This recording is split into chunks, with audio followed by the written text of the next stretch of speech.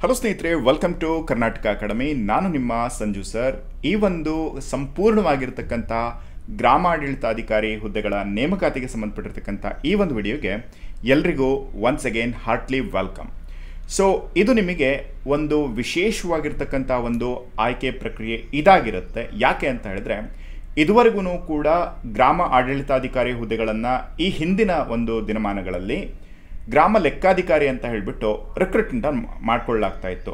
ಅದರಲ್ಲೂ ಕೂಡ second year P U C score ಏನಿರುತ್ತೆ, ಅದರ ಅಕಾರ್ಡಿಂಗ್ ಮೆರಿಟ್ನ ತೆಗೆದುಕೊಳ್ಳಲಾಗ್ತಾ ಇತ್ತು. ಬಟ್ ಈ ಸಾರಿ ಎರಡು ಸಾವಿರದ ಇಪ್ಪತ್ತ ನಾಲ್ಕರಲ್ಲಿ ಮೊದಲನೇ ಬಾರಿಗೆ ಈ ಒಂದು ಹುದ್ದೆಯನ್ನು, ಅಂದರೆ ಗ್ರಾಮ ಲೆಕ್ಕಾಧಿಕಾರಿ ಅಂತಕ್ಕಂತಹ ಹುದ್ದೆಯನ್ನು ಗ್ರಾಮ ಆಡಳಿತಾಧಿಕಾರಿ ಅಂತ ಹೇಳಿಬಿಟ್ಟು ಬದಲಾವಣೆಯನ್ನು ಮಾಡಿ ಮೊಟ್ಟ ಮೊದಲನೇ ಬಾರಿಗೆ ಸ್ಪರ್ಧಾತ್ಮಕ ಪರೀಕ್ಷೆಗಳ ಮೂಲಕವಾಗಿ ನೇರ ನೇಮಕಾತಿಯನ್ನು ಮಾಡಿಕೊಳ್ಳಲಾಗ್ತಾ ಇದೆ.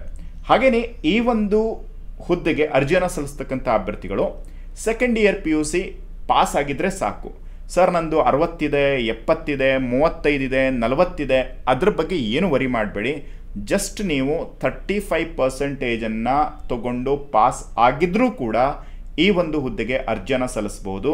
ಹಾಗೆ ಈ ಸ್ಕೋರ್ ನಿಮಗೆ ಯಾವುದೇ ಕಾರಣಕ್ಕೂ ಕೂಡ ರ್ಯಾಂಕಿಂಗ್ ಲೀಸ್ಟಲ್ಲಾಗಿರ್ಬೋದು ಅಥವಾ ಈ ಒಂದು ಆಯ್ಕೆ ಪ್ರಕ್ರಿಯೆಯನ್ನು ಮಾಡಿರ್ತಕ್ಕಂತಹ ಮೆರಿಟ್ ಲಿಸ್ಟಿಗೂ ಸಂಬಂಧ ಇರೋದಿಲ್ಲ.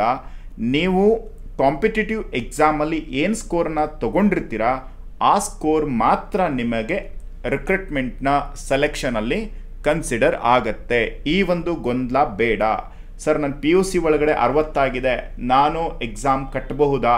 ಅಥವಾ ಈ ಸ್ಕೋರು ಕೂಡ ನಂದು ರಿಕ್ರೂಟ್ಮೆಂಟ್ನ ಸಂದರ್ಭದಲ್ಲಿ ಕೌಂಟಿಗೆ ಬರುತ್ತಾ? ಆ ಥರದ್ದೇನು ಡೌಟ್ ಇಟ್ಕೋಬೇಡಿ. ನೀವು ಥರ್ಟಿ ಫೈವ್ ಪರ್ಸೆಂಟೇಜನ್ನು ತೊಗೊಂಡಿದ್ರೂ ಕೂಡ ನೀವು ಎಕ್ಸಾಮನ್ನು ಬರೀಬಹುದು. ಎಕ್ಸಾಮಲ್ಲಿ ಎಷ್ಟು ಉತ್ತಮವಾಗಿರ್ತಕ್ಕಂಥ ಅಂಕಗಳನ್ನು ತಗೊಳ್ತಿರೋ ಅದರ ಅಕಾರ್ಡಿಂಗ್ ನಿಮ್ಮ ಒಂದು ಆಯ್ಕೆಯನ್ನು ನಡೆಸಲಾಗತ್ತೆ. ಓಕೆ ಇದು ನಿಮಗೆ ಬೇಸಿಕ್ ಡೌಟ್ ಕ್ಲಿಯರ್ ಆಗಿದೆ. ಈಗ ಈ ಪ್ರಸ್ತುತ ನೇಮಕಾತಿಗೆ ಸಂಬಂಧಪಟ್ಟಿರ್ತಕ್ಕಂಥ ಅಧಿಸೂಚನೆಯನ್ನು ನಾವು ನೋಡ್ಕೊಳ್ತಾ ಹೋಗೋಣ. ಯಾವೆಲ್ಲ ವಿಷಯಗಳು ನಾವು ಫೋಕಸ್ ಮಾಡಬೇಕು ಮೇಜರ್ ಆಗಿ ಈ ಒಂದು ಇನ್ಫಾರ್ಮೇಷನ್ಗಳನ್ನ ತಿಳ್ಕೊಂಡಿರಲೇಬೇಕು ಅಂತ ಹೇಳ್ಬಿಟ್ಟು. ಓಕೆ ಈ ಒಂದು ಆಯ್ಕೆಯನ್ನು ನಡೆಸ್ತಕ್ಕಂಥದ್ದು ಅಥವಾ ಈ ಒಂದು ಹುದ್ದೆಗಳು ಖಾಲಿ ಇರ್ತಕ್ಕಂಥದ್ದು ಯಾವ ಒಂದು ಇಲಾಖೆಯಲ್ಲಿ ಅಂತ ಹೇಳಿದ್ರೆ, ಕರ್ನಾಟಕ ಸರ್ಕಾರದ ಕಂದಾಯ ಇಲಾಖೆಯಲ್ಲಿ ಈ ಒಂದು ಹುದ್ದೆಗಳು ಖಾಲಿ ಇರ್ತಕ್ಕಂಥದ್ದು ಅಂದರೆ ಒಟ್ಟು ಸಾವಿರ ಹುದ್ದೆಗಳು ಏನಿದಾವೆ? ಇದು ಕರ್ನಾಟಕ ಸರ್ಕಾರದ ಕಂದಾಯ ಇಲಾಖೆಯಲ್ಲಿ ಇರತಕ್ಕಂಥದ್ದು. ಈ ಒಂದು ಜಾಬ್ಸ್ಗಳು ಏನಿದ್ದಾವೆ ಅಥವಾ ಹುದ್ದೆಗಳಿಗೆ ಏನಿದಾವೆ ಎಕ್ಸಾಮನ್ನು ನಡೆಸ್ತಕ್ಕಂಥ ಸಂಸ್ಥೆ ಯಾವುದು ಅಂತ ಹೇಳಿದ್ರೆ, ಕರ್ನಾಟಕ ಪರೀಕ್ಷಾ ಪ್ರಾಧಿಕಾರ, ಅರ್ಥಾತ್ ಕೆ ಇ ಎ ಕಡೆಯಿಂದ ಈ ಒಂದು ಎಕ್ಸಾಮ್ಸ್ಗಳು ನಡೀತವೆ. ಅರ್ಥಾತ್ ನಿಮಗೆ ಈ ಹಿಂದೆ ಏನು ಗ್ರೂಪ್ ಸಿ ಎಕ್ಸಾಮ್ಸ್ಗಳು ಏನು ಕಂಡಕ್ಟ್ ಆಗಿದ್ವೋ ಸೊ ಅದೇ ಒಂದು ಪ್ಯಾಟ್ರನ್ನಲ್ಲಿ ಈ ಒಂದು ಎಕ್ಸಾಮನ್ನು ಕೂಡ ಕಂಡಕ್ಟ್ ಮಾಡ್ತಾ ಇರೋದ್ರಿಂದ, ನೀವು ಎಕ್ಸಾಂಪಲ್ ಆಗಿ ಏನನ್ನ ನೋಡ್ಕೋಬೋದು ಅಂತ ಹೇಳಿದ್ರೆ ಗ್ರೂಪ್ ಸಿಯ ಕಮ್ಯುನಿಕೇಷನ್ ಪೇಪರ್ನ ನೋಡ್ಕೋಬೋದು. ಹಾಗೆಯೇ ನೀವು ಗ್ರೂಪ್ ಸಿಗೆ ಸಂಬಂಧಪಟ್ಟ ಆಗಿರ್ತಕ್ಕಂತಹ ಜನರಲ್ ಪೇಪರಲ್ಲಿ ಒಂದಿಷ್ಟು ಪಾರ್ಟನ್ನು ಕನ್ಸಿಡರ್ ಮಾಡಿಕೊಂಡು ಅದರಲ್ಲಿ ನೀವು ನೋಡ್ಕೋಬಹುದಾಗಿರುತ್ತೆ. ಆಗಿ ಇದು ಫಸ್ಟ್ ಟೈಮ್ ಎಕ್ಸಾಮ್ ನಡೀತಾ ಇರೋದ್ರಿಂದ ನಿಮಗೆ ಯಾವುದೇ ರೀತಿಯಾಗಿರ್ತಕ್ಕಂಥ ಪ್ರೀವಿಯಸ್ ಪೇಪರ್ಗಳು ಇದಕ್ಕೆ ಸಿಗೋದಿಲ್ಲ. ಇದಕ್ಕೆ ನೀವು ಉಪಯೋಗಿಸ್ಕೋಬಹುದಾಗಿರ್ತಕ್ಕಂಥ ಪೇಪರ್ಸ್ಗಳು ಯಾವುದು ಅಂತ ಹೇಳಿದ್ರೆ ಈ ಒಂದು ಗ್ರೂಪ್ ಸಿ ಪೇಪರ್ಸ್ಗಳನ್ನು ಯೂಸ್ ಮಾಡ್ಕೋಬೋದು. ಆಮೇಲೆ ಪಿ ಡಿ ಒ ಮತ್ತು ಎಸ್ ಟಿ ಎಗೆ ಸಂಬಂಧಪಟ್ಟಾಗಿರ್ತಕ್ಕಂಥ ಒಂದು ಕ್ವಶನ್ ಪೇಪರ್ಸ್ಗಳ ಮಾದರಿಯನ್ನು ನೀವು ಆಯ್ಕೆಯನ್ನು ಮಾಡಿಕೊಂಡು ಅದರ ಅಕಾರ್ಡಿಂಗ್ ನೀವೇನು ಮಾಡಬೇಕು? ಇದರ ಪ್ರಿಪ್ರೇಷನ್ನ ಮಾಡ್ಕೊಳ್ತಾ ಹೋಗ್ತಕ್ಕಂಥದ್ದು ಅವಶ್ಯಕವಾಗಿ ನಿಮಗೆ ಗೊತ್ತಿರಬೇಕು. ಈಗ ಇದು ಪ್ರಸ್ತುತವಾಗಿ ಇಪ್ಪತ್ತು ಎರಡು ಎರಡು ಸಾವಿರದ ಇಪ್ಪತ್ನಾಲ್ಕರಲ್ಲಿ ಈ ಒಂದು ನೋಟಿಫಿಕೇಶನ್ ಆಗಿದ್ದು ಮೋರ್ ಎವರ್ ನಿಮಗೆ ರಿಕ್ರೂಟ್ಮೆಂಟ್ ಪ್ರಾಸೆಸ್ ಕಂಪ್ಲೀಟ್ ಆಗಿ ಮುಗಿತಕ್ಕಂಥದ್ದು ಎರಡು ಸಾವಿರದ ಇಪ್ಪತ್ತೈದರವರೆಗೂ ಆಗಿರುತ್ತೆ. ಸೊ ಈ ಒಂದು ಹುದ್ದೆಗಳಿಗೆ ಯಾರೆಲ್ಲ ಅರ್ಜಿಯನ್ನು ಸಲ್ಲಿಸಬೇಕು ಅಂತಿದ್ದೀರಾ ಮಿಸ್ ಮಾಡಿದ ಹಾಗೆ ಅರ್ಜಿಯನ್ನು ಸಲ್ಲಿಸಿ. ಯಾಕೆ ಅಂತ ಹೇಳಿದ್ರೆ, ಇದು ಮೊದಲನೇ ಟೈಮ್ ಆಗಿರೋದ್ರಿಂದ ಮೋರ್ ಎವರ್ ನಿಮಗೆ ಈ ಒಂದು ಹುದ್ದೆಗಳಲ್ಲಿ ಅವಕಾಶ ಇದ್ದೇ ಇರುತ್ತೆ. ಯಾರೆಲ್ಲ ಕಷ್ಟಪಟ್ಟು ಓದೋದಕ್ಕೆ ರೆಡಿ ಇರ್ತೀರಾ, ನಿಮಗೊಂದು ಹುದ್ದೆ ಪಕ್ಕಾ ಸಿಗತ್ತೆ. ಅದಕ್ಕೆ ನೀವು ಕಂಪ್ಲೀಟಾಗಿ ಇನ್ಫಾರ್ಮೇಷನ್ ತಿಳ್ಕೊಂಡಿರಬೇಕು. ಏನು ಓದಬೇಕು, ಏನು ಓದಬಾರ್ದು, ಎಷ್ಟನ್ನು ಓದಬೇಕು, ನನಗಿರ್ತಕ್ಕಂಥ ಟೈಮ್ ಲಿಮಿಟ್ ಏನು ಆ ಒಂದು ಟೈಮ್ ಲಿಮಿಟಲ್ಲಿ ನಾನು ಯಾವ ರೀತಿಯಾಗಿ ಟೈಮ್ ಟೇಬಲ್ನ ಸೆಟ್ ಮಾಡಿಕೊಂಡು ನಾನು ಈ ನಾಲ್ಕು ತಿಂಗಳಲ್ಲಿ ನನ್ನ ಕಂಪ್ಲೀಟ್ ಪ್ರಿಪ್ರೇಷನ್ನ ಮಾಡ್ಕೋಬೇಕು ಅಂತ ಹೇಳ್ಬಿಟ್ಟು ನಿಮಗೆ ಇವತ್ತೇ ನಿಮಗೆ ಗೊತ್ತಿರಬೇಕು. ಓಕೆ ಸೊ ಇದರ ಜೊತೆಗೆ ಈ ಒಂದು ಹುದ್ದೆಗೆ ಸಂಬಂಧಪಟ್ಟ ಹಾಗೆ ಬೇಸಿಕ್ ಆ್ಯಂಡ್ ವೆರಿ ಇಂಪಾರ್ಟೆಂಟ್ ಆಗಿರ್ತಕ್ಕಂಥ ಮಾಹಿತಿಗಳನ್ನು ಒಂದೊಂದಾಗಿ ನೋಡ್ತಾ ಹೋಗೋಣ. ಈಗ ನಿಮಗೆ ಪ್ರಸ್ತುತವಾಗಿ ಹುದ್ದೆ ಹೆಸರು ಏನಿದಿರುತ್ತೆ ಅಂತ ಹೇಳಿದ್ರೆ ಗ್ರಾಮ ಆಡಳಿತ ಅಧಿಕಾರಿ ಅಂತ ಹೇಳಿಬಿಟ್ಟು ಈ ಒಂದು ಹುದ್ದೆಗೆ ಇರ್ತಕ್ಕಂತಹ ಒಂದು ಹೆಸರು. ಇದಕ್ಕೆ ಇರ್ತಕ್ಕಂಥ ವೇತನವನ್ನು ನೋಡೋದಾದರೆ ಇಪ್ಪತ್ತೊಂದು ಸಾವಿರದ ನಾನ್ನೂರಿಂದ ನಲವತ್ತೆರಡು ಸಾವಿರ ರೂಪಾಯಿವರೆಗೂ ಕೂಡ ಈ ಒಂದು ವೇತನವನ್ನು ನೀಡಲಾಗುತ್ತೆ. ಇದರ ಜೊತೆಗೆ ನಿಮಗೆ ಇತರೆ ಭತ್ಯೆಗಳು ಕೂಡ ಇದರಲ್ಲಿ ಒಳಗೊಂಡಿರ್ತವೆ. ಅದು ಕೂಡ ನಿಮಗೆ ಎಕ್ಸ್ಟ್ರಾ ಅಡಿಷನಲ್ ಆಗಿ ನಿಮಗೆ ಸಿಗ್ತಾ ಹೋಗುತ್ತೆ. ಓಕೆ ಸೊ ಇನ್ಕ್ರಿಮೆಂಟ್ ಕೂಡ ಇರೋದ್ರಿಂದ ನೀವು ಆರಾಮಾಗಿ ಈ ಒಂದು ಪೋಸ್ಟಿಗೆ ಅಪ್ಲೈಯನ್ನು ಮಾಡಬಹುದು. ಹಾಗೆಯೇ ಈ ಒಂದು ಪೋಸ್ಟಿಗೆ ಅರ್ಜಿಯನ್ನು ಸಲ್ಲಿಸಬೇಕಾದ್ರೆ ಬೇಸಿಕಲಿ ನಿಮಗೆ ಎಲ್ರಿಗೂ ಕೂಡ ಕನ್ಫ್ಯೂಷನ್ ಇರ್ತಕ್ಕಂಥದ್ದು ವಿದ್ಯಾರ್ಹತೆ ಮೇಲ್ಗಡೆಗೆ. ಸೊ ಅದನ್ನು ಕೂಡ ನಾನು ನಿಮಗೆ ಕಂಪ್ಲೀಟಾಗಿ ಇದರಲ್ಲಿ ತಿಳಿಸ್ಕೊಡ್ತೀನಿ. Okay don't worry about that ಎಲ್ಲವೂ ಕೂಡ ಯಾವುದೇ ರೀತಿ ಡೌಟ್ ಇಲ್ದಾಗೆ ನಿಮ್ಗೆ ಎಲ್ಲವನ್ನು ಕೂಡ ನೀಟಾಗಿ ಇದರಲ್ಲಿ ತಿಳ್ಕೊಳ್ತೀರಾ? ಕ್ಲಿಯರ್ ಆಗಿ ಏನು ಮಾಡಿ ಅಂತ ಹೇಳಿದ್ರೆ ಕೇಳಿಸ್ಕೊಂಡು ಒಂದಲ್ಲ ಎರಡು ಸಾರಿ ನೀವು ಇದನ್ನು ಏನು ಮಾಡಿ ಅಂತ ಹೇಳಿದ್ರೆ ಕರೆಕ್ಟಾಗಿ ನೋಡ್ಕೊಳ್ಳಿ, ಆಯಿತಾ? ಹಾಗೆ ಈ ಹುದ್ದೆಗೆ ಬೇಕಾಗಿರ್ತಕ್ಕಂಥ ಮಿನಿಮಮ್ ಕ್ವಾಲಿಫಿಕೇಷನ್ ಏನು ಅಂತ ಹೇಳಿದ್ರೆ ದ್ವಿತೀಯ ಪಿ ಯು ಸಿ ಪಾಸ್ ಆಗಿರಬೇಕು. ಸರ್ ಎಷ್ಟು ಪರ್ಸಂಟೇಜಲ್ಲಿ ಪಾಸ್ ಆಗಿರಬೇಕು ಅಂತ ಹೇಳಿದ್ರೆ ನೀವು ಜಸ್ಟ್ ಥರ್ಟಿ ಫೈವ್ ಪರ್ಸೆಂಟೇಜಲ್ಲಿ ಪಾಸ್ ಆಗಿದ್ರೂ ಕೂಡ ಸಾಕು. ಯಾವುದೇ ರೀತಿ ವರಿ ಮಾಡ್ದೇ ಎಕ್ಸಾಮಿಗೆ ಉತ್ತಮವಾಗಿರ್ತಕ್ಕಂಥ ರೀತಿಯಲ್ಲಿ ಪ್ರಿಪ್ರೇಷನ್ನ ಮಾಡ್ಕೊಳ್ಳಿ. ಇದರಲ್ಲಿ ನಿಮಗೆ ತರ್ಟಿ ಫೈವ್ ಪರ್ಸೆಂಟೇಜಿಂದು ಒಂದಿಷ್ಟು ಕೂಡ ನಿಮ್ಮ ಒಂದು ರೆಕ್ರೂಟ್ಮೆಂಟ್ಗೆ ಪ್ರಾಬ್ಲಮ್ ಅಥವಾ ಸ್ಕೋರ್ ಅದರಲ್ಲಿ ಆ್ಯಡ್ ಆಗ್ತಕ್ಕಂಥದ್ದು ಏನು ಕನ್ಸಿಡರ್ ಆಗಲ್ಲ. ನೀವು ಎಕ್ಸಾಮಲ್ಲಿ ಏನು ಸ್ಕೋರನ್ನು ಮಾಡಿರ್ತೀರೋ ಅದೇ ಕನ್ಸಿಡರ್ ಆಗೋದ್ರಿಂದ ತರ್ಟಿ ಫೈವ್ ಪರ್ಸೆಂಟೇಜ್ ಇದ್ರೂ ಕೂಡ ನೀವು ಎಕ್ಸಾಮನ್ನು ಬರೀಬೋದು ನೆಕ್ಸ್ಟ್ ಎರಡನೇದಾಗಿ ಈ ತತ್ಸಮಾನ ವಿದ್ಯಾರ್ಹತೆಯನ್ನು ಪಡ್ಕೊಂಡಿರ್ತಕ್ಕಂಥವ್ರು ಯಾರಾಗಿರ್ತಾರೆ ಅಂತ ಹೇಳ್ಬಿಟ್ಟು ಅದನ್ನು ಕೂಡ ನಾವು ನೋಡೋಣ. ಮುಖ್ಯವಾಗಿ ಈ ತತ್ಸಮಾನ ವಿದ್ಯಾರ್ಹತೆ ಅಂತ ಹೇಳಿದ್ರೆ ಯಾವುದನ್ನು ಕನ್ಸಿಡರ್ ಮಾಡಲಾಗತ್ತೆ ಅಂತ ಹೇಳಿದ್ರೆ, ನೋಡಿ, ನೀವು ಸಿ ಬಿ ಎಸ್ ಸಿ ಒಳಗಡೆಗೆ ಅಥವಾ ಐ ಸಿ ಎಸ್ ಸಿ ಒಳಗಡೆಗೆ ಇವೆರಡರಲ್ಲೂ ಕೂಡ ಯಾವುದಾದ್ರೂ ಒಂದು ಮಂಡಳಿಯಿಂದ ನಡೆಸ್ತಕ್ಕಂತಹ ಟ್ವೆಲ್ತ್ ಕ್ಲಾಸ್ ಎಕ್ಸಾಮನ್ನು ಪಾಸ್ ಆಗಿದ್ರಿ ಅಂದ್ರೂ ಕೂಡ, ಅಥವಾ ಹನ್ನೆರಡನೇ ತರಗತಿಯನ್ನು ಪಾಸ್ ಆಗಿದ್ರಿ ಅಂದ್ರೂ ಕೂಡ ನೀವು ಈ ಒಂದು ಗ್ರಾಮ ಆಡಳಿತಾಧಿಕಾರಿ ಹುದ್ದೆಗೆ ಅರ್ಜಿಯನ್ನು ಸಲ್ಲಿಸ್ಬೋದು. ಎರಡನೇದಾಗಿ, ಇತರೆ ರಾಜ್ಯ ಸರ್ಕಾರದ ಪರೀಕ್ಷಾ ಮಂಡಳಿಗಳಿಂದ ನಡೆಸುವ ಕ್ಲಾಸ್ ಹನ್ನೆರಡನೇ ಪರೀಕ್ಷೆ ಅಥವಾ ಹನ್ನೆರಡನೇ ತರಗತಿ ಪರೀಕ್ಷೆ. ಅಂದರೆ ನಾವೀಗೇನು ಕರ್ನಾಟಕದಲ್ಲಿ ದ್ವಿತೀಯ ಪಿ ಯು ಸಿ ಅಂತ ಕರಿತೀವಲ್ವಾ? ಅದೇ ಥರನೇ ನಮ್ಮ ದೇಶದಲ್ಲಿ ಬೇರೆ ಬೇರೆ ರಾಜ್ಯಗಳಿಂದ ನಡೆಸ್ತಕ್ಕಂತಹ ಟ್ವೆಲ್ತ್ ಸ್ಟ್ಯಾಂಡರ್ಡ್ ಎಕ್ಸಾಮನ್ನು ಯಾವುದೇ ಸ್ಟೇಟಲ್ಲಿ ಬರೆದಿದ್ರೂ ಕೂಡ, ಅವರು ಕೂಡ ಈ ಒಂದು ಹುದ್ದೆಗೆ ಅರ್ಜಿಯನ್ನು ಸಲ್ಲಿಸಬಹುದು. ಓಕೆ. ಮೂರನೇದಾಗಿ ನ್ಯಾಷನಲ್ ಇನ್ಸ್ಟಿಟ್ಯೂಟ್ ಆಫ್ ಓಪನ್ ಸ್ಕೂಲಿಂಗಿಂದ ಅಂದರೆ ಎನ್ ಐ ಒ ಎಸ್ನಿಂದ ನಡೆಸ್ತಕ್ಕಂತಹ ಉನ್ನತ ಪ್ರೌಢ ಶಿಕ್ಷಣ ಕೋರ್ಸನ್ನು, ಅಂದರೆ ನೀವು ಈ ಒಂದು ದೂರ ಶಿಕ್ಷಣ ಪದ್ಧತಿಯ ಮುಖಾಂತರವಾಗಿ ನೀವು ಎಜುಕೇಷನ್ನ ಮಾಡಿದ್ರೂ ಕೂಡ ನೀವೇನು ಮಾಡ್ಬೋದು ಅಂತ ಹೇಳಿದ್ರೆ ಅರ್ಜಿಯನ್ನು ಸಲ್ಲಿಸ್ಬೋದು. ಅದರಲ್ಲಿ ಉನ್ನತ ಪ್ರೌಢ ಶಿಕ್ಷಣ ಕೋರ್ಸ್ ಆಗಿರ್ಬೋದು ಅಥವಾ ಎಚ್ ಎಸ್ ಸಿ ಕೋರ್ಸನ್ನು ಮಾಡಿದ್ರೂ ಕೂಡ ನೀವೇನು ಮಾಡ್ಬೋದು? ಈ ಒಂದು ಎಕ್ಸಾಮನ್ನು ತಗೋಬಹುದು. ಹಾಗೆ ಮೂರನೇದಾಗಿ ಮೂರು ವರ್ಷಗಳ ಡಿಪ್ಲೊಮೊ ಅಥವಾ ಎರಡು ವರ್ಷಗಳ ಐ ಟಿ ಐ ಕೋರ್ಸನ್ನು ಮಾಡಿರ್ತಕ್ಕಂಥ ಅಭ್ಯರ್ಥಿಗಳಾಗಿರ್ಬೋದು ಅಥವಾ ಎರಡು ವರ್ಷಗಳ ವೃತ್ತಿ ಶಿಕ್ಷಣ ಡಿಪ್ಲೊಮೊವನ್ನು ಮಾಡಿರ್ತಕ್ಕಂಥ ಅಭ್ಯರ್ಥಿಗಳೂ ಕೂಡ ಈ ಒಂದು ಎಕ್ಸಾಮನ್ನು ಬರೀಬೋದು ಆದರೆ ಏನು ಮೂರು ವರ್ಷಗಳ ಡಿಪ್ಲೊಮಾ ಆಗಿರ್ಬೋದು, ಐ ಟಿ ಐ ಕೋರ್ಸ್ ಆಗಿರ್ಬೋದು ಅಥವಾ ಎರಡು ವರ್ಷಗಳ ವೃತ್ತಿ ಶಿಕ್ಷಣ ಡಿಪ್ಲೊಮಾ ಏನಿದೆ, ಅದರಲ್ಲಿ ನಿಮಗೆ ಜೆ ಒ ಸಿ ಒಂದು ಡಿಪಾರ್ಟ್ಮೆಂಟ್ ಬರುತ್ತೆ, ಜೆ ಒ ಡಿ ಸಿ ಇದು ಕೂಡ ಒಂದು ಡಿಪಾರ್ಟ್ಮೆಂಟು, ಆಮೇಲೆ ಜೆ ಎಲ್ ಡಿ ಸಿ ಇದು ಕೂಡ ಒಂದು ಬ್ರ್ಯಾಂಚ್ ಆಗಿರುತ್ತೆ. ಸೊ, ಇದರಲ್ಲಿ ಸ್ಟಡಿ ಮಾಡಿರ್ತಕ್ಕಂಥ ಅಭ್ಯರ್ಥಿಗಳು, ನೀವೇನು ಮಾಡಿರಬೇಕು ಅಂತ ಹೇಳಿದ್ರೆ, ಎನ್ ಐ ಒ ಎಸ್ ಏನಿದೆ, national institute of open schooling ಏನಿದೆ ಅವ್ರ ಕಡೆ ನಡ, ಕಡೆಯಿಂದ ನಡೆಸ್ತಕ್ಕಂಥ ಒಂದು ಭಾಷಾ ಕೋರ್ಸ್ ಅಂತ ಹೇಳಿಬಿಟ್ಟು ಒಂದು ಎಕ್ಸಾಮನ್ನು ನಡೆಸ್ತಾರೆ. ಮತ್ತು ಇದರ ಜೊತೆಗೆ ಒಂದು ಶೈಕ್ಷಣಿಕ ವಿಷಯದಲ್ಲಿ ಅಂದರೆ ನಿಮಗೆ ದೂರ ಕಲಿಕೆ ಮಾದರಿಯಲ್ಲಿ ಅಂತ ಹೇಳಿದ್ರೆ ಏನು ಅಂತ ಹೇಳಿದ್ರೆ ನೀವು ಆನ್ಲೈನಲ್ಲಿ ಎಕ್ಸಾಮನ್ನು ಕಟ್ಟಿಬಿಟ್ಟು ಅಥವಾ ಸ್ಕೂಲ್ ಕಾಲೇಜ್ಗೆ ಸ್ಕೂಲಿಗೆ ಹೋಗ್ದೇನೆ ಡಿಸ್ಟೆನ್ಸ್ ಎಜುಕೇಷನಲ್ಲಿ ನೀವೇನು ಮಾಡಿರ್ತೀರಾ ಅಂತ ಹೇಳಿದ್ರೆ ಈ ಎಕ್ಸಾಮನ್ನು ತೊಗೊಂಡ್ಬಿಟ್ಟು ಬರೆದು ಬಂದಿರ್ತೀರ, ಅದು ಪಾಸ್ ಆಗಿರುತ್ತೆ. ಸೊ ಈ ರೀತಿಯಾಗಿರ್ತಕ್ಕಂತಹ ಒಂದು ಎಕ್ಸಾಮನ್ನು ಕಂಡಕ್ಟ್ ಮಾಡಿರ್ತಾರಲ್ವ? ಆ ಥರದ ಒಂದು ಎಕ್ಸಾಮಲ್ಲಿ ನೀವು ಪಾಸ್ ಆಗಿದ್ರಿ ಅಂತ ಹೇಳಿದ್ರೆ, ನೀವೇನು ಮಾಡ್ಬೋದು ಅಂತ ಹೇಳಿದ್ರೆ, ಈ ಒಂದು ಗ್ರಾಮ ಆಡಳಿತಾಧಿಕಾರಿ ಹುದ್ದೆಗಳಿಗೆ ಅರ್ಜಿಯನ್ನು ಸಲ್ಲಿಸ್ಬೋದು. ಯಾರೆಲ್ಲ ಡಿಪ್ಲೊಮಾ ಮಾಡಿರ್ತೀರಾ, ಆಮೇಲೆ ಐ ಟಿ ಐ ಮಾಡಿರ್ತೀರಾ, ನಿಮಗೆಲ್ಲ ಗೊತ್ತಿರುತ್ತೆ ಯಾವುದು ಆ ಒಂದು N I O S certificate ಅಂತ ಹೇಳ್ಬಿಟ್ಟು. ಸೊ ಅದು ನಿಮಗೆ ಗೊತ್ತಿದ್ದು, ಅದು ನೀವು ಎಕ್ಸಾಮ್ ಬರೆದು ಆ ಒಂದು ಸರ್ಟಿಫಿಕೇಟ್ನ ನೀವು ಹೊಂದಿದ್ರಿ ಅಂತ ಹೇಳಿದ್ರೆ ನೀವು ಆರಾಮಾಗಿ ಏನು ಮಾಡ್ಬೋದು? ಈ ಒಂದು ಗ್ರಾಮ ಆಡಳಿತಾಧಿಕಾರಿ ಹುದ್ದೆಗಳಿಗೆ ಅರ್ಜಿಯನ್ನು ಸಲ್ಲಿಸ್ಬೋದು. ಇದರ ಜೊತೆಗೆ ಈ ಒಂದು ಪದವಿ ಪೂರ್ವ ಮಂಡಳಿ ಅಂದರೆ ಪಿ ಯು ಬೋರ್ಡ್ ಏನಿದೆಯಲ್ವಾ? ಅವ್ರು ನಡೆಸ್ತಕ್ಕಂಥ ಒಂದು ಭಾಷೆ ಅಥವಾ ಒಂದು ವಿಷಯದಲ್ಲಿ ಉತ್ತೀರ್ಣರಾದಲ್ಲಿ ಮಾತ್ರ ಪಿ ಯು ಸಿಗೆ ತತ್ಸಮಾನ ಅಂತ ಹೇಳ್ಬಿಟ್ಟು ಪರಿಗಣಿಸಲಾಗುತ್ತೆ ಅಂತ ಹೇಳ್ಬಿಟ್ಟು ತಿಳಿಸಲಾಗಿದೆ. ಸೊ ಇದು ಯಾವುದಾದ್ರೂ ಒಂದು ನಿಮ್ಮ ಹತ್ರ ಇರಬೇಕು. ಯಾರು ಡಿಪ್ಲೊಮೊ ಅಥವಾ ಐ ಟಿ ಐ ಮಾಡಿರ್ತಕ್ಕಂಥ ಅಭ್ಯರ್ಥಿಗಳಲ್ಲಿ. ಓಕೆ ಐ ಹೋಪ್ ನಿಮಗೆ ತತ್ಸಮಾನ ವಿದ್ಯಾರ್ಥಿ ಯಾವುದು, ಯಾವುದನ್ನು ನಾವು ತತ್ಸಮಾನ ವಿದ್ಯಾರ್ಥಿ ಅಂತ ಕರಿತೀವಿ ಅಂತ ಹೇಳ್ಬಿಟ್ಟು ಗೊತ್ತಾಗಿರುತ್ತೆ. ನೆಕ್ಸ್ಟು ವಯೋಮಿತಿಯನ್ನು ನೋಡೋದಾದರೆ ಇಲ್ಲಿ ತುಂಬ ಏಜ್ ಒಂದು ಸಡಿಲಿಕೆಯನ್ನು ನೀಡಲಾಗಿದೆ. ಎಲ್ಲರೂ ಕೂಡ ಮೋರ್ ಎವರ್ ಅರ್ಜಿಯನ್ನು ಸಲ್ಲಿಸ್ಬೋದು.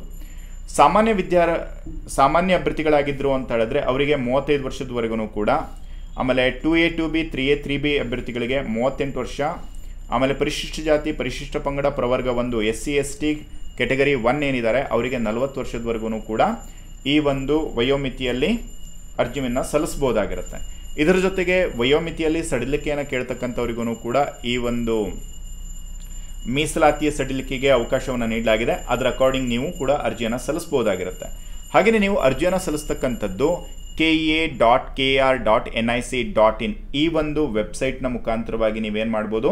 ಅರ್ಜಿಯನ್ನು ಸಲ್ಲಿಸ್ಬೋದು ಅರ್ಜಿಯನ್ನು ಸಲ್ಲಿಸ್ತಕ್ಕಂಥ ಅಭ್ಯರ್ಥಿಗಳು ಗಮನದಲ್ಲಿಟ್ಕೊಂಡು ತಿಳ್ಕೋಬೇಕು. ಏನು ಅಂತ ಹೇಳಿದ್ರೆ, ಅಭ್ಯರ್ಥಿಗಳು ಯಾವುದಾದ್ರೂ ಒಂದು ಡಿಸ್ಟಿಕ್ಗೆ ಅಂದರೆ ಕರ್ನಾಟಕದಲ್ಲಿರ್ತಕ್ಕಂಥ ಎಲ್ಲ ಡಿಸ್ಟಿಕ್ಕೂ ಕೂಡ ನೀವು ಅರ್ಜಿಯನ್ನು ಸಲ್ಲಿಸೋದಕ್ಕೆ ಬರೋದಿಲ್ಲ. ಯಾವ ಡಿಸ್ಟಿಕ್ಕಲ್ಲಿ ಹುದ್ದೆಗಳು ಖಾಲಿ ಇರ್ತವೆ, ಆ ಡಿಸ್ಟಿಕ್ಕಲ್ಲಿ ನೀವು ಅರ್ಜಿಯನ್ನು ಸಲ್ಲಿಸ್ಬೋದು. ಹಾಗೆಯೇ ನೀವು ಎಲ್ಲ ಡಿಸ್ಟಿಕ್ಕಿಗೂ ಕೂಡ ಅರ್ಜಿಯನ್ನು ಸಲ್ಲಿಸಿದ್ರೆ ಒಂದು ವೇಳೆ, ಅಂದರೆ ನಾನು ಹೇಳ್ತಾ ಇರೋದು ಹೇಗೆ ಅಂತ ಹೇಳಿದ್ರೆ ನೀವೊಂದು ನಾಲ್ಕು ಡಿಸ್ಟಿಕ್ಕಿಗೆ ಅರ್ಜಿಯನ್ನು ಸಲ್ಲಿಸ್ತೀರಾ ಅಂತ ಅಂದ್ಕೊಳ್ಳಿ. ಸರ್, ನಾಲ್ಕು ಡಿಸ್ಟಿಕ್ಕು ನನಗೆ ರಿಕ್ರೂಟ್ಮೆಂಟಲ್ಲಿ ಅವಕಾಶವನ್ನು ನೀಡುತ್ತಾ ಅಂತ ಕೇಳಿದರೆ ಅದಕ್ಕೆ ಅವಕಾಶ ಇಲ್ಲ. ನೀವು ಯಾವ ಡಿಸ್ಟಿಕ್ಕಿಗೆ ಅರ್ಜಿಯನ್ನು ಸಲ್ಲಿಸ್ತೀರಾ, ಆಯ್ಕೆಯನ್ನು ಮಾಡ್ಕೊಂಬಿಟ್ಟು ಆ ಡಿಸ್ಟಿಕ್ಕಿಗೆ ಹೋಗಿ ನೀವು ಎಕ್ಸಾಮನ್ನು ಬರಿತೀರಲ್ವಾ? ಆ ಡಿಸ್ಟಿಕ್ ಮಾತ್ರ ನಿಮ್ಗೇನಾಗುತ್ತೆ ಅಂತ ಹೇಳಿದ್ರೆ ರಿಕ್ರೂಟ್ಮೆಂಟಲ್ಲಿ ಕನ್ಸಿಡರ್ ಆಗುತ್ತೆ. ಹಾಗಂದ್ರೆ ಸರ್, ನಾನೊಂದು ಮೂರರಿಂದ ನಾಲ್ಕು ಅರ್ಜಿಯನ್ನು ಸಲ್ಲಿಸ್ಬಿಟ್ಟು ನನಗೆ ಯಾವ ಡಿಸ್ಟಿಕ್ಕಿಗೆ ಆಗುತ್ತೋ ನಾನು ಆ ಡಿಸ್ಟಿಕ್ಕಿಗೆ ಹೋಗ್ಬಿಟ್ಟು ಆಮೇಲೆ ಬರಿತೀನಿ ಅಂದರೆ ಇದಕ್ಕೆ ಅವಕಾಶ ಇದೆಯಾ ಅಂತ ಹೇಳಿದ್ರೆ ಇದಕ್ಕೆ ಅವಕಾಶ ಇದೆ. ಆದರೆ ನೀವು ಯಾವ ಡಿಸ್ಟಿಕ್ಕಲ್ಲಿ ಎಕ್ಸಾಮ್ ಬರೀತಿರೋ ಅದೇ ಡಿಸ್ಟಿಕ್ಗೆ ಫೈನಲ್ ಆಗಿರುತ್ತೆ ರಿಕ್ರೂಟ್ಮೆಂಟಲ್ಲಿ ಆಯಿತಾ? ಯಾವ ಡಿಸ್ಟಿಕ್ಗೆ ಅರ್ಜಿ ಸಲ್ಲಿಸ್ಬಿಟ್ಟು ಮೂರ್ನಾಲ್ಕು ಕಡೆ ಅರ್ಜಿ ಸಲ್ಲಿಸಿದ್ರೆ ಅದು ಕನ್ಸಿಡರ್ ಆಗಲ್ಲ. ಸೊ ಇದು ಒಂದು ನಿಮಗೆ ಗೊತ್ತಿರಲಿ. ಆಮೇಲೆ ಈ ಒಂದು ಅರ್ಜಿ ಶುಲ್ಕವನ್ನು ನಿಮಗೆ ವಾಪಸ್ ಕೊಡ್ತಾರ ಒಂದ್ಸರಿ ಪೇ ಮಾಡಿದ್ಮೇಲೆ ಅದು ಕೂಡ ಇಲ್ಲ, ನೀವು ಅರ್ಜಿ ಶುಲ್ಕ ಸಲ್ಲಿಸಿದ್ರಿ ಅಂತ ಹೇಳಿದ್ರೆ, ಆಯಿತಾ? ಸೊ ಅದು ಒಂದು ನಿಮಗೆ ಗಮನದಲ್ಲಿ ಇರಲಿ. ಹಾಗೆಯೇ ನಿಮಗೆ ಈ ಒಂದು ಅರ್ಜಿಯನ್ನು ಸಲ್ಲಿಸೋದಕ್ಕೆ ಇರ್ತಕ್ಕಂತಹ ಪ್ರಾರಂಭ ದಿನಾಂಕ ಯಾವುದು ಅಂತ ನೋಡೋದಾದರೆ, ನಾಲ್ಕು ಮೂರು ಎರಡು ಸಾವಿರದ ಇಪ್ಪತ್ನಾಲ್ಕರಿಂದ ಈ ಒಂದು ಅರ್ಜಿಯನ್ನು ಸಲ್ಲಿಸೋದಕ್ಕೆ ಅವಕಾಶ ಇರುತ್ತೆ. ಅದು ಕೂಡ ನಿಮಗೆ ಬೆಳಿಗ್ಗೆ ಹನ್ನೊಂದು ಗಂಟೆಯಿಂದ ಸ್ಟಾರ್ಟ್ ಆಗುತ್ತೆ. ನೆಕ್ಸ್ಟು ಆನ್ಲೈನ್ ಮುಖಾಂತರ ಅರ್ಜಿ ಸಲ್ಲಿಸೋದಕ್ಕೆ ಕೊನೆ ದಿನಾಂಕ ಇರತಕ್ಕಂಥದ್ದು ಮೂರು ನಾಲ್ಕು ಎರಡು ಸಾವಿರದ ಇಪ್ಪತ್ನಾಲ್ಕು. ಅದು ನಿಮಗೆ ರಾತ್ರಿವರೆಗೂ ಕೂಡ ಟೈಮ್ ಕೊಟ್ಟಿರ್ತಾರೆ. ಅಂದರೆ ಹನ್ನೊಂದು ಗಂಟೆ ಐವತ್ತೊಂಬತ್ತು ನಿಮಿಷ. ಸರ್ ನಾನು ಐವತ್ತೆಂಟು ನಿಮಿಷಕ್ಕೆ ಪ್ರಾರಂಭ ಮಾಡಿ, ಐವತ್ತೊಂಬತ್ತನೇ ನಿಮಿಷಕ್ಕೆ ಕ್ಲೋಸ್ ಆದರೆ ಹೆಂಗೆ ಅಂತ ಕೇಳಿ ಮತ್ತು ಇಲ್ಲಿವರೆಗೂ ವೇಟ್ ಮಾಡೋದಕ್ಕೆ ಹೋಗಬೇಡ್ರಿ. ನಿಮಗೆ ಇನಿಷಿಯಲ್ ಡೇಸಲ್ಲಿ ಯಾರು ಕೂಡ ಜಾಸ್ತಿ ಫೋಕಸ್ ಮಾಡಲ್ಲ. ಆವಾಗಲೇ ಏನು ಮಾಡಿ ಅಂತ ಹೇಳಿದ್ರೆ ಅರ್ಜಿಯನ್ನು ಸಲ್ಲಿಸಿ ಅರ್ಜಿಯನ್ನು ಸಲ್ಲಿಸ್ಬೇಕಿದ್ರೆ ನೀವೇನು ಮಾಡಿ ಅಂತ ಹೇಳಿದ್ರೆ, ಒಂದು ಸಾರಿ ನೀಟಾಗಿ ಅರ್ಜಿಯಲ್ಲಿ ಏನೇನು ಮಾಹಿತಿಯನ್ನು ಕೇಳಿರ್ತಾರೆ, ಏನೇನು ಬೇಕಿದೆ ಯಾವೆಲ್ಲ ಡಾಕ್ಯುಮೆಂಟ್ಸ್ಗಳು ಬೇಕು ಅವೆಲ್ಲವನ್ನು ನೀಟಾಗಿ ಮೊದಲು ತಿಳ್ಕೊಂಡು ಅರ್ಜಿಯನ್ನು ಸಲ್ಲಿಸಿ, ಒಂದು ಸಾರಿ ನೀವೇನಾದ್ರೂ ಕೂಡ ಈ ಒಂದು ಅರ್ಜಿಯನ್ನು ಸಲ್ಲಿಸಿದ ಮೇಲೆ ಅದರಲ್ಲಿ ಯಾವುದೇ ರೀತಿಯಾಗಿರ್ತಕ್ಕಂಥ ತಿದ್ದುಪಡಿಗೆ ಅವಕಾಶ ಇರೋದಿಲ್ಲ. ಡಾಕ್ಯುಮೆಂಟ್ ವೆರಿಫಿಕೇಷನ್ ಟೈಮಲ್ಲಿ ನೀವು ಯಾವುದಾದ್ರೂ ಕೂಡ ಬದಲಾವಣೆಗಳು ಬಯಸಿದಲ್ಲೂ ಕೂಡ ಅದು ಅವಕಾಶ ಇರೋದಿಲ್ಲ. ಅದರಿಂದ ಏನೆಲ್ಲ ಸರಿಯಾಗಿರ್ತಕ್ಕಂಥ ಮಾಹಿತಿಯನ್ನು ಕೊಡಬೇಕಾಗಿರುತ್ತೆ, ಅದೆಲ್ಲವನ್ನು ಕೂಡ ಈಗಲೇ ಪ್ರಿಪ್ರೇಷನ್ ಮಾಡ್ಕೊಳ್ತಾ ಹೋಗಿ. ಹಾಗೆ ಅರ್ಜಿ ಶುಲ್ಕವನ್ನು ಪಾವತಿಸೋದಕ್ಕೆ ಕೊನೆ ದಿನಾಂಕ ಇರತಕ್ಕಂಥದ್ದು ಆರು, ನಾಲ್ಕು, ಎರಡು ಸಾವಿರದ ಇಪ್ಪತ್ನಾಲ್ಕು. ನೆಕ್ಸ್ಟ್ ಈ ಒಂದು ಹುದ್ದೆಗೆ ಅರ್ಜಿಯನ್ನು ಸಲ್ಲಿಸ್ತಕ್ಕಂಥ ಅಭ್ಯರ್ಥಿಗಳಿಗೆ ಅರ್ಜಿ ಶುಲ್ಕವನ್ನು ನೋಡೋದಾದರೆ, ಸಾಮಾನ್ಯ ಅರ್ಹತೆಯನ್ನು ಅಂದರೆ ಜಿ ಎಂ ಕೆಟಗರಿ ಇರತಕ್ಕಂಥ ಅಭ್ಯರ್ಥಿಗಳಿಗಾಗಿರ್ಬೋದು ಅಥವಾ ಒ ಬಿ ಸಿ ಕೆಟಗರಿ ಎರಡು ಎ, ಎರಡು ಬಿ, ಮೂರು ಎ, ಮೂರು ಬಿಗೆ ಸಂಬಂಧಪಟ್ಟಿರ್ತಕ್ಕಂಥ ಅಭ್ಯರ್ಥಿಗಳಿಗೆ ಏಳ್ನೂರ ಐವತ್ತು ರೂಪಾಯಿ ಅರ್ಜಿ ಶುಲ್ಕವನ್ನು ನೀಡಲಾಗಿದೆ. ಹಾಗೆಯೇ ಪರಿಶಿಷ್ಟ ಜಾತಿ, ಪರಿಶಿಷ್ಟ ಪಂಗಡ, ಪ್ರವರ್ಗ ಒಂದು, ಮಾಜಿ ಸೈನಿಕ ಅಭ್ಯರ್ಥಿಗಳಿಗೆ ಮತ್ತು ವಿಕಲಚೇತನ ಅಭ್ಯರ್ಥಿಗಳಿಗೆ ಐನೂರು ರೂಪಾಯಿ ಅರ್ಜಿ ಶುಲ್ಕವನ್ನು ವಿಧಿಸಲಾಗಿದೆ. ವಿಕಲಚೇತನ ಅಭ್ಯರ್ಥಿಗಳು ಅಂದರೆ ಹೇಗಿರ್ತಾರೆ ಅಂತ ಹೇಳಿದರೆ ನಲವತ್ತು ಪರ್ಸೆಂಟ್ಗಿಂತ ಹೆಚ್ಚು ಅಥವಾ ನಲವತ್ತು ಪರ್ಸೆಂಟೇಜ್ ಮಿನಿಮಮ್ ಇರಬೇಕು. ಇದ್ರ ಜೊತೆಗೆ ನಿಮ್ಮ ಜಿಲ್ಲಾ ವೈದ್ಯಾಧಿಕಾರಿಗಳಿಂದ ಪಡೆದಿರತಕ್ಕಂಥ ಪ್ರಮಾಣ ಪತ್ರವನ್ನು ಹೊಂದಿದ್ರೆ ಮಾತ್ರ ನೀವು ಈ ಒಂದು ವಿಕಲಚೇತನ ಅಭ್ಯರ್ಥಿಗಳ ಒಂದು ಮೀಸಲಾತಿಯನ್ನು ಪಡಿಬೋದಾಗಿರುತ್ತೆ ಅದರಲ್ಲಿ ನಿಮಗೆ ಈ ಒಂದು ವಯೋಮಿತಿಯಲ್ಲೂ ಕೂಡ ಈ ಒಂದು ಮೀಸಲಾತಿಯನ್ನು ನೀಡಲಾಗಿರುತ್ತೆ. ಅದು ಮಾಜಿ ಸೈನಿಕರಿಗಾಗಿರ್ಬೋದು ಅಥವಾ ಕನ್ನಡ ಮಾಧ್ಯಮ ಸರ್ಟಿಫಿಕೇಟನ್ನು ಹೊಂದಿರತಕ್ಕಂಥವ್ರಿಗೆ ಆಗಿರ್ಬೋದು ನಿರಾಶ್ರಿತರೇ ಆಮೇಲೆ ಯಾವುದಾದ್ರೂ ಯೋಜನೆಯಿಂದ ನಿರಾಶ್ರಿತರಾಗಿರ್ತಕ್ಕಂಥ ಅಭ್ಯರ್ಥಿಗಳಾಗಿರ್ಬೋದು, ತ್ರಿಲಿಂಗಿಗಳಾಗಿರ್ಬೋದು ಇವರೆಲ್ಲರಿಗೂ ಕೂಡ ಈ ಒಂದು ಮೀಸಲಾತಿಯನ್ನು ನೀಡಲಾಗಿರುತ್ತೆ. ಸೊ ಅದನ್ನು ನೀವು ಯಾರ ಹತ್ರ ಈ ಒಂದು ಸರ್ಟಿಫಿಕೇಟ್ಸ್ಗಳಿದ್ದಾವೆ ಅದನ್ನೆಲ್ಲ ಯೂಸ್ ಮಾಡ್ಕೊಳ್ಳಿ ಇದರಲ್ಲಿ. ಆಯಿತಾ? ಆಮೇಲೆ ನಿಮಗೆ ಇದರಲ್ಲಿ ಕಡ್ಡಾಯ ಕನ್ನಡ ಭಾಷಾ ಪರೀಕ್ಷೆ ಏನಿರುತ್ತೆ, ಅದು ಎಲ್ರಿಗೂ ಕೂಡ ಕಡ್ಡಾಯವಾಗಿ ಇದ್ದೇ ಇರುತ್ತೆ. ಆಮೇಲೆ ಈ ಒಂದು ಎಕ್ಸಾಮಲ್ಲಿ ನಿಮಗೆ ಕಂಪ್ಲೀಟಾಗಿ ಎಲ್ಲವೂ ಕೂಡ ನಿಮಗೆ ಆಬ್ಜೆಕ್ಟಿವ್ ಟೈಪ್ ಆಗಿರತಕ್ಕಂಥ ಕ್ವಶನ್ಸ್ಗಳಿರ್ತವೆ ಒಟ್ಟು ನಿಮಗೆ ಇದರಲ್ಲಿ ನೂರ ಐವತ್ತು ಅಂಕಗಳನ್ನು ಒಳಗೊಂಡಿರ್ತಕ್ಕಂಥ ಒಂದು ಬಹು ಆಯ್ಕೆ ಪ್ರಶ್ನೆ ಪತ್ರಿಕೆ ಇದಾಗಿರುತ್ತೆ. ಹಾಗೆಯೇ ಈ ಒಂದು ಪತ್ರಿಕೆಯಲ್ಲಿ ನೀವು ಐವತ್ತು ಅಂಕಗಳನ್ನು ಗಳಿಸ್ತಕ್ಕಂಥದ್ದು ಕಡ್ಡಾಯವಾಗಿರುತ್ತೆ. ಆದರೆ ಇಲ್ಲಿ ನೀವು ಗಳಿಸ್ತಕ್ಕಂತಹ ಅಂಕಗಳು ಏನಿದಾವೆ, ಇದು ಆಯ್ಕೆ ಪ್ರಕ್ರಿಯೆಯಲ್ಲಿ ಪರಿಗಣನೆಗೆ ತೆಗೆದುಕೊಳ್ಳಲಾಗೋದಿಲ್ಲ. ಇದು ಕೂಡ ನಿಮಗೆ ಗೊತ್ತಿರಲಿ. ಸೊ ಕಡ್ಡಾಯ ಕನ್ನಡ ಪತ್ರಿಕೆಯನ್ನು ನೀವು ಬರೀಬೇಕು. ಅದರಲ್ಲಿ ಮಿನಿಮಮ್ ಐವತ್ತು ಮಾರ್ಕ್ಸನ್ನು ತೊಗೊಂಡಿರಬೇಕು. ತದನಂತರವಾಗಿ ಈ ಒಂದು ಸ್ಕೋರ್ ನಿಮಗೆ ಆಯ್ಕೆ ಪ್ರಕ್ರಿಯೆ ಒಳಗಡೆಗೆ ಕನ್ಸಿಡರ್ ಆಗೋದಿಲ್ಲ ಅಂತ ಹೇಳ್ಬಿಟ್ಟು ನಿಮಗೆ ಗೊತ್ತಿರಬೇಕು. ಅಂದರೆ ಓವರ್ ಆಲ್ ಆಗಿ ನಿಮ್ಗೆ ಇದರಲ್ಲಿ ಮೂರು ಪತ್ರಿಕೆಗಳು ಇರ್ತವೆ. ಒಂದು ಕಡ್ಡಾಯ ಕನ್ನಡ ಪತ್ರಿಕೆ ಇರುತ್ತೆ, ಆಮೇಲೆ ಪತ್ರಿಕೆ ಒಂದು ಇರುತ್ತೆ, ಆಮೇಲೆ ಪತ್ರಿಕೆ ಎರಡು. ಸೊ ಇದರಲ್ಲಿ ಈಗ ಆಲ್ರೆಡಿ ನಾನು ನಿಮಗೆ ಹೇಳಿರೋ ಹಾಗೆ ಇವೆಲ್ಲವೂ ಕೂಡ ನಿಮಗೆ ಒಟ್ಟು ಇನ್ನೂರು ಅಂಕಗಳ ಒಂದು ಪರೀಕ್ಷೆಯನ್ನು ನಡೆಸಲಾಗುತ್ತೆ. ಪ್ರತಿ ಒಂದು ಎಕ್ಸಾಮಿಗೂ ಕೂಡ ನಿಮಗೆ ಎರಡು ಗಂಟೆಗಳ ಕಾಲಾವಕಾಶವನ್ನು ನಿಮಗೆ ನೀಡಲಾಗಿರುತ್ತೆ. ಅಂದರೆ ನೂರ ಇಪ್ಪತ್ತು ನಿಮಿಷಗಳಲ್ಲಿ ನೀವು ನೂರು ಪ್ರಶ್ನೆಗಳಿಗೆ ನೀವೇನು ಮಾಡಬೇಕು ಅಂತ ಹೇಳಿದ್ರೆ ಉತ್ತರವನ್ನು ನೀಡಬೇಕಾಗಿರುತ್ತೆ. ಆಮೇಲೆ ಈಗ ಇದು ತುಂಬ ಇಂಪಾರ್ಟೆಂಟ್ ಆಗಿರ್ತಕ್ಕಂಥದ್ದು ಏನು ಅಂತ ಹೇಳಿದ್ರೆ, ಋಣಾತ್ಮಕವಾಗಿರ್ತಕ್ಕಂಥ ಒಂದು ಮೌಲ್ಯಮಾಪನವನ್ನು ಈ ಒಂದು ಎಕ್ಸಾಮಲ್ಲಿ ಇಂಟ್ರಡ್ಯೂಸ್ ಮಾಡಿರ್ತಕ್ಕಂಥದ್ದು. ಇನ್ನು ಮುಂಬರ್ತಕ್ಕಂಥ ಎಕ್ಸಾಮ್ಸ್ಗಳನ್ನು ಕೂಡ ಈ ಒಂದು ಪ್ಯಾಟರ್ನ್ ಇಟ್ಟರೆ ಬಹಳ ಒಳ್ಳೆಯದಿದು ಇದರಿಂದ ಏನಾಗುತ್ತೆ ಅಂತ ಹೇಳಿದ್ರೆ, ತುಂಬ ಅಚ್ಚುಕಟ್ಟಾಗಿ ಶ್ರದ್ಧೆಯಿಂದ ಓದಿರ್ತಕ್ಕಂಥ ಅಭ್ಯರ್ಥಿಗಳಿಗೆ ಹೆಚ್ಚು ಅವಕಾಶ ಸಿಗ್ತಕ್ಕಂಥದ್ದಾಗಿರುತ್ತೆ. ಏನೋ ಒಂದು ಮಾರ್ಕ್ ಮಾಡಿ ಹೋಗಿ ಅದು ರೈಟ್ ಆಗಿ, ಅದರ ಒಂದು ಲಕ್ ಬೈ ಚಾನ್ಸ್ ಒಳಗಡೆ ಆಯ್ಕೆ ಆಗೋದಕ್ಕೆ ಇದರಲ್ಲಿ ಅವಕಾಶ ಇಲ್ಲದೆ ಇರೋದು ಇದರಲ್ಲಿ ತುಂಬ ಮುಖ್ಯವಾಗಿರತಕ್ಕಂಥದ್ದು. ಅದರಿಂದ ಯಾರು ಎಷ್ಟು ಚೆನ್ನಾಗಿ ಓದಿರ್ತಿರೋ ಆ ಒಂದು ಪ್ರಶ್ನೆಗೆ ಉತ್ತರವನ್ನು ನೀಡಬೇಕಿದ್ರೂ ಕೂಡ ನೀಟಾಗಿ ತುಂಬ ಸಮಂಜಸವಾಗಿರ್ತಕ್ಕಂಥ ರೀತಿಯಲ್ಲಿ ಉತ್ತರವನ್ನು ನೀಡೋದಕ್ಕೆ ಅವಕಾಶ ಇರುತ್ತೆ. ಆಮೇಲೆ ನಿಮ್ಗೆ ಇದರಲ್ಲಿ ಒಂದು ಬೈ ನಾಲ್ಕರಷ್ಟು ಅಂತ ಹೇಳಿದ್ರೆ ಝೀರೋ ಪಾಯಿಂಟ್ ಎರಡು ಐದರಷ್ಟು ನಿಮ್ಗೆ ಏನಾಗಿರುತ್ತೆ ಅಂತ ಹೇಳಿದ್ರೆ ಈ ಒಂದು ಋಣಾತ್ಮಕವಾಗಿರ್ತಕ್ಕಂಥ ಮೌಲ್ಯಮಾಪನ ಅಂಕಗಳು ಇರ್ತವೆ. ಸೊ ಅರ್ಥಾತ್ ಏನು ಅಂತ ಹೇಳಿದ್ರೆ ಇಲ್ಲಿ ನೀವು ನಾಲ್ಕು ಪ್ರಶ್ನೆಗಳಿಗೆ ತಪ್ಪು ಉತ್ತರವನ್ನು ನೀಡಿದ್ರಿ ಅಂತ ಹೇಳಿದ್ರೆ ನಿಮ್ಗೆ ಅದಕ್ಕೆ ಒಂದು ಅಂಕ ಕನ್ಸಿಡರ್ ಆಗುತ್ತೆ. ಅಂದರೆ ನಾಲ್ಕು ತಪ್ಪು ಉತ್ತರಗಳದ್ದು ಒಂದು ನೆಗೆಟಿವ್ ಆಗಿರತಕ್ಕಂಥ ಒಂದು ಅಂಕ ಆಗಿರುತ್ತೆ. ಅಂದರೆ ನೀವು ಒಂದು ಪ್ರಶ್ನೆಗೆ ಸರಿಯಾಗಿರ್ತಕ್ಕಂಥ ಉತ್ತರವನ್ನು ನೀಡಿ, ಒಂದು ಅಂಕವನ್ನು ಪಡ್ಕೊಂಡಿದ್ರೆ ಉಳಿದಿರ್ತಕ್ಕಂತಹ ನಾಲ್ಕು ಪ್ರಶ್ನೆಗಳಿಗೆ ತಪ್ಪು ಉತ್ತರವನ್ನು ನೀಡಿದ್ರಿ ಅಂತ ಹೇಳಿದ್ರೆ ಅಲ್ಲಿಗೆ ಒನ್ ಮೈನಸ್ ಒನ್ ಆಗುತ್ತೆ, ಅದು ಝೀರೋ ಸ್ಕೋರ್ ಆಗುತ್ತೆ. ಈ ರೀತಿಯಾಗಿರ್ತಕ್ಕಂಥ ಒಂದು ಕನ್ಸಿಡರ್ ಆಗ್ತಕ್ಕಂಥದ್ದು ನಿಮಗೆ ಗಮನದಲ್ಲಿರಲಿ. ಆದ್ದರಿಂದ ಉತ್ತರ ಪತ್ರಿಕೆಯಲ್ಲಿ ಉತ್ತರವನ್ನು ಗುರುತಿಸಬೇಕಿದ್ರೆ ನನಗದು ಆನ್ಸರ್ ಗೊತ್ತಿದೆಯೇ ಇಲ್ವಾ? ಅಥವಾ ನಾನು ಆನ್ಸರ್ ಮಾಡಬೇಕಾದ್ರೆ ತಪ್ಪಾದರೆ ಅಂತಕ್ಕಂಥದ್ದು ತುಂಬ ಗಮನದಲ್ಲಿಟ್ಕೊಂಡು ಉತ್ತರವನ್ನು ಮಾಡ್ತಾ ಹೋಗಬೇಕು. ಆಮೇಲೆ ಇದರಲ್ಲಿ ನಿಮಗೆ ತುಂಬ ತುಂಬ ತುಂಬ ಇಂಪಾರ್ಟೆಂಟ್ ಏನು ಅಂತ ಹೇಳಿದ್ರೆ, ಈ ಒಂದು ಏನು ಪೇಪರ್ ಒನ್ ಮತ್ತು ಪೇಪರ್ ಟು ಏನಿರುತ್ತೆ, ಅದರಲ್ಲಿ ನೀವು ಕಂಪಲ್ಸರಿಯಾಗಿ ಮೂವತ್ತೈದರಷ್ಟು ಅಂಕಗಳನ್ನು ಪಡಿಬೇಕು. ಯಾವ ಥರದ್ರಲ್ಲಿ ಅಂತ ಹೇಳಿದ್ರೆ ಓವರ್ ಆಲ್ ಆಗಿ ಇನ್ನೂರು ಅಂಕಗಳಲ್ಲಿ ಇನ್ನೂರು ಅಂಕಗಳಲ್ಲಿ ನೀವು ಸೆವೆಂಟಿ ಫೈ ಮಾರ್ಕ್ಸನ್ನು ಕಂಪಲ್ಸರಿಯಾಗಿ ನೀವೇನು ಮಾಡಬೇಕು? ಪಡಿಲೇಬೇಕಾಗಿರುತ್ತೆ. ಈ ಸೆವೆಂಟಿ ಫೈವ್ ಮಾರ್ಕ್ಸ್ ಮೇಲಿತ್ತು ಅಂತ ಹೇಳಿದ್ರೆ ಮಾತ್ರ ನಿಮ್ಮನ್ನು ಆಯ್ಕೆಗೆ ಪರಿಗಣಿಸಲಾಗತ್ತೆ. ಆದರೆ ನಿಮಗೆ ಈ ಸ್ಕೋರು ಎದಕ್ಕೂ ಕೆಲಸಕ್ಕೆ ಬರೋದಿಲ್ಲ. ನೆನಪಿರಲಿ. ಇಲ್ಲಿ ನೀವು ಮೆರಿಟ್ ಮೇಲೆ ಆಗಿರೋದ್ರಿಂದ ನೀವು ಹೈಯರ್ ಸ್ಕೋರನ್ನೇ ಮಾಡಿರಬೇಕಾಗತ್ತೆ.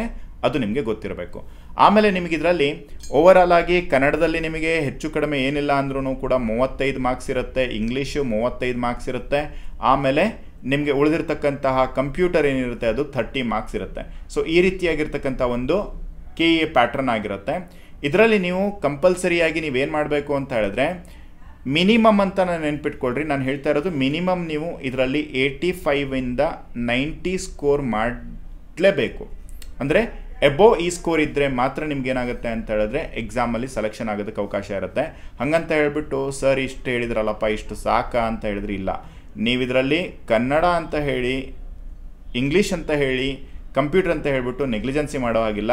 ಹೆಚ್ಚು ಸ್ಕೋರ್ ಮಾಡೋದಕ್ಕೆ ಟ್ರೈ ಮಾಡಬೇಕು. ಎಷ್ಟು ಸ್ಕೋರ್ ಆಗುತ್ತೋ ಅಷ್ಟು ಸ್ಕೋರ್ ಇದರಲ್ಲಿ ಹೈಯರ್ ರೇಂಜಲ್ಲೇ ಮಾಡಬೇಕು.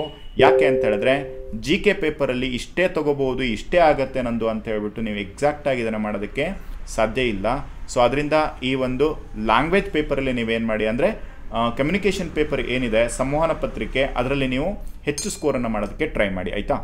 ನೆಕ್ಸ್ಟು ಈಗ ನಾವು ಸಿಲೆಬಸ್ಸನ್ನು ಒಂದು ಸ್ವಲ್ಪ ನೋಡ್ಕೋಣ ಸಿಲೆಬಸ್ಸಲ್ಲಿ ಏನೇನಿದೆ ಅಂತ ಹೇಳ್ಬಿಟ್ಟು, ಪೇಪರ್ ಯಾವ ರೀತಿಯಾಗಿದೆ ಅದನ್ನು ಕೂಡ ನೋಡ್ಕೋಣ ಇದರಲ್ಲಿ ಪತ್ರಿಕೆ ಎರಡನ್ನು ನಾವು ನೋಡೋದಾದರೆ, ಅಂದರೆ ಸಂವಹನ ಪತ್ರಿಕೆಯನ್ನು ನೋಡೋದಾದರೆ, ಸಾಮಾನ್ಯ ಕನ್ನಡ ಇರುತ್ತೆ, ಸಾಮಾನ್ಯ ಇಂಗ್ಲೀಷ್ ಇರುತ್ತೆ, ಆಮೇಲೆ ಕಂಪ್ಯೂಟರ್ ಜ್ಞಾನ ಇರಲೇಬೇಕು. ಸೊ ಇವೆಲ್ಲವೂ ಕೂಡ ಏನು ಅಂತ ಹೇಳಿದ್ರೆ, ಈಗ ಆಲ್ರೆಡಿ ಗ್ರೂಪ್ ಸಿ ಎಕ್ಸಾಮ್ನ ಕ್ವಶನ್ ಪೇಪರ್ಸ್ಗಳೇನಿದಾವಲ್ಲ ಅದು ನಿಮಗೆ ತುಂಬ ಇಂಪಾರ್ಟೆಂಟ್ ಆಗಿರುತ್ತೆ ಹೆಲ್ಪ್ಫುಲ್ ಆಗಿರುತ್ತೆ. ಸೊ ಅದರಿಂದ ಈ ಒಂದು ಪೇಪರ್ಸ್ಗಳನ್ನು ನೋಡ್ಕೊಳ್ಳಿ. ಆಮೇಲೆ ಪೇಪರ್ ಒನ್ ಏನಿರುತ್ತೆ ಸೊ ಇದಕ್ಕೆ ಸಂಬಂಧಪಟ್ಟ ಹಾಗೆ ತುಂಬ ಇಂಪಾರ್ಟೆಂಟ್ ಆಗಿರ್ತಕ್ಕಂಥ ಥಿಂಗ್ಸ್ಗಳು ನಾನು ನಿಮಗೆ ಹೇಳ್ತಾ ಹೋಗ್ತೀನಿ, ಇದರಲ್ಲಿ ಏನೇನು ಓದ್ಕೋಬೇಕು ಅಂತ ಹೇಳ್ಬಿಟ್ಟು. ಆಮೇಲೆ ಮುಂದಿನ ದಿನಗಳಲ್ಲಿ ಇದಕ್ಕೆ ಸಂಬಂಧಪಟ್ಟಿರ್ತಕ್ಕಂಥ ಬುಕ್ಸ್ಗಳನ್ನು ಕೂಡ ನಾನು ನಿಮ್ಗೆ ತಿಳಿಸ್ತೀನಿ.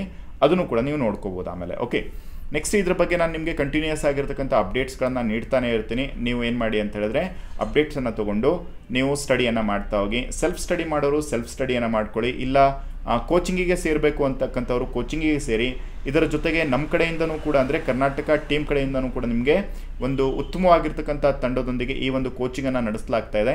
ಇದಕ್ಕೆ ಇರತಕ್ಕಂಥ ಫೀಸ್ ಏನು ಗೊತ್ತಾ ನಿಮಗೆ? ಇದಿಷ್ಟು ಎರಡು ಪೇಪರ್ ಒನ್ ಮತ್ತು ಪೇಪರ್ ಟು ಎರಡೂ ಸೇರಿಸ್ಬಿಟ್ಟು ನಿಮಗೆ ತ್ರಿಪಲ್ ನೈನ್ ಒಳಗಡೆ ಈಗ ಈ ಒಂದು ಕೋಚಿಂಗನ್ನು ನಡೆಸಲಾಗ್ತದೆ ಯಾರೆಲ್ಲ ಜಾಯ್ನ್ ಆಗಬೇಕು ಅಂತಿದ್ರೋ ನೀವು ನಮಗೆ ಕರೆಯನ್ನು ಮಾಡಿಬಿಟ್ಟು ಜಾಯ್ನ್ ಆಗ್ಬೋದು. ನಾನು ನಿಮಗೆ ಅದರದ್ದು ಕಾಂಟ್ಯಾಕ್ಟ್ ನಂಬರನ್ನು ಕೂಡ ನಾನು ನಿಮಗೆ ನೆಕ್ಸ್ಟು ಕೊಡ್ತೀನಿ. ಇದ್ರ ಜೊತೆಗೆ ನಿಮಗೆ ಜನರಲ್ ಆಗಿ ಈ ಒಂದು ಕಾಂಟ್ಯಾಕ್ಟ್ ನಂಬರ್ಗೆ ನೀವು ಏನು ಮಾಡ್ಬೋದು ಅಂತ ಹೇಳಿದ್ರೆ ಅಮೌಂಟನ್ನು ಪೇ ಮಾಡಿಬಿಟ್ಟು ಜಾಯಿನ್ ಆಗ್ಬೋದು. ಆಮೇಲೆ ಇನ್ನೊಂದು ನಂಬರನ್ನು ನಿಮಗೆ ನೆಕ್ಸ್ಟ್ ಈಗ ನಾನು ಕೊಡ್ತೀನಿ.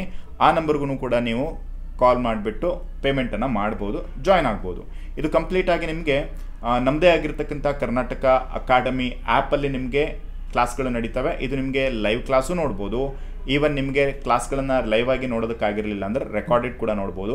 ಹಾಗೆಯೇ ನಿಮಗೆ ಈ ಒಂದು ಏನು ಟಾಪಿಕ್ ಇದ್ದಾವೆ ಇದ್ರ ಮೇಲೆ ನಿಮಗೆ ಎಂ ಸಿ ಕ್ಯೂ ಪ್ರಾಕ್ಟೀಸನ್ನು ಕೂಡ ನಾವು ಕೊಟ್ಟಿರ್ತೀವಿ. ಅಂದರೆ ಹೇಗಾಗಿರಬೇಕು ಪ್ರಾಕ್ಟೀಸ್ ಅಂತ ಹೇಳಿದರೆ ಯಾವ ಥರದ ಪ್ರಶ್ನೆಗಳು ಬಂದರೂ ಕೂಡ ನೀವು ಉತ್ತರವನ್ನು ನೀಡೋದಕ್ಕೆ ಸಜ್ಜಾಗಿರಬೇಕು. ಆ ರೀತಿಯಾಗಿರ್ತಕ್ಕಂಥ ಒಂದು ಪ್ರಿಪ್ರೇಷನ್ನ ನಾವು ನಿಮಗೆ ಮಾಡಿಸ್ತಾ ಇದ್ದೀವಿ. ಯಾರೆಲ್ಲ ಇಂಟ್ರೆಸ್ಟ್ ಇದ್ದೀರೋ ನೀವೆಲ್ಲರೂ ಕೂಡ ಜಾಯ್ನ್ ಆಗ್ಬೋದು. ಓಕೆ ಸೊ ಈಗ ನಾವು ಪೇಪರ್ ಒನ್ನಲ್ಲಿ ಬರ್ತಕ್ಕಂಥ ಸಿಲೆಬಸನ್ನು ನೋಡೋಣ.